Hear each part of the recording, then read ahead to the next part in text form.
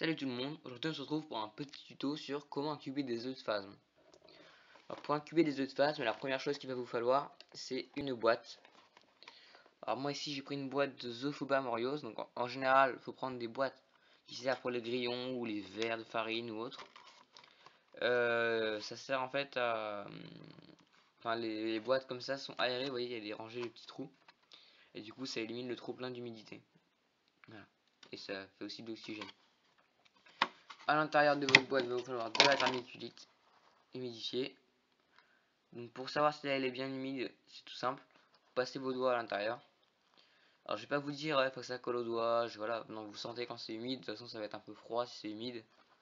Voilà, faut juste que ce soit légèrement humide. Euh, faut pas que ce soit trop humide non plus. Voilà. Euh, pas besoin de prendre une super grande boîte. Hein. Vous voyez, moi je sais pas si on va voir les œufs. Là, c'est des œufs Therosus morosus, donc c'est vraiment tout petit. Je vais vous montrer sur la boîte des de Maceratum. Les œufs sont plus gros, ils sont plus jolis en plus. Si j'arrive à l'ouvrir. Voilà, hop, les deux 1 et le 2. Voilà. Vous voyez, là on voit les œufs. Hop, je vais essayer d'en prendre un. Hop. Donc ce sont des œufs qui sont beaucoup plus gros, en même temps c'est une espèce qui est beaucoup plus grosse, vous voyez, par rapport à ma main. Les os sont très jolis. On dirait des, perles. Bon, c'est pas tout à fait des perles, mais ça ressemble beaucoup. Voilà. Donc ces œufs là, la dame qui me les a vendus m'a dit que ça faisait déjà 4 mois qu'ils étaient dedans.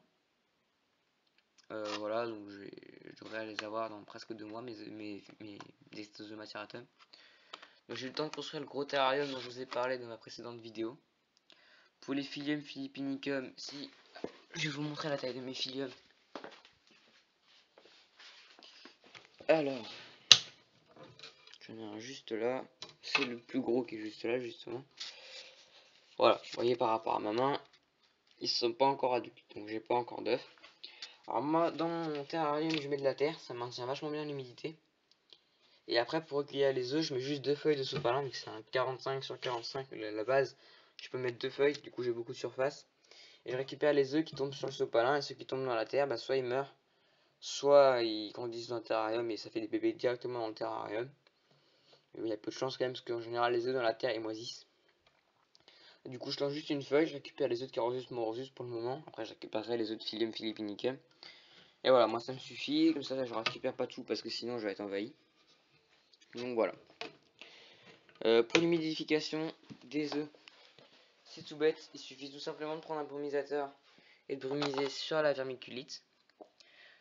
Euh, je sais pas ce que vous sentez que ce soit humide, mais il faut pas que ça colle, faut pas que les, grains de vermiculite collent entre eux. Faut pas que ça, enfin, tout simplement, faut pas qu'on puisse faire un monticule dans terrarium sans que ça s'écroule.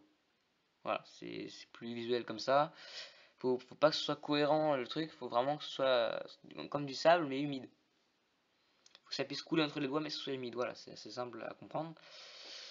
Voilà, et sur ce, je vous dis à bientôt pour une prochaine vidéo.